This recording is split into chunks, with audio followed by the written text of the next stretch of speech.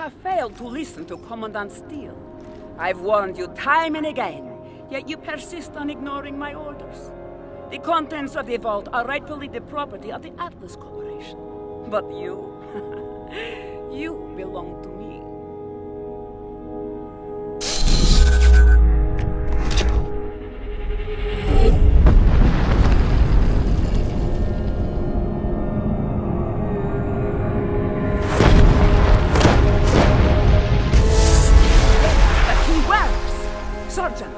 Team ready to go inside.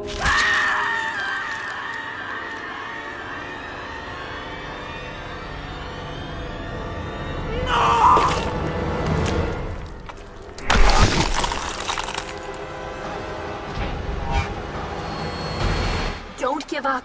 This creature may be immortal in its own realm, but in this reality, it cannot survive without a host, and that makes it vulnerable.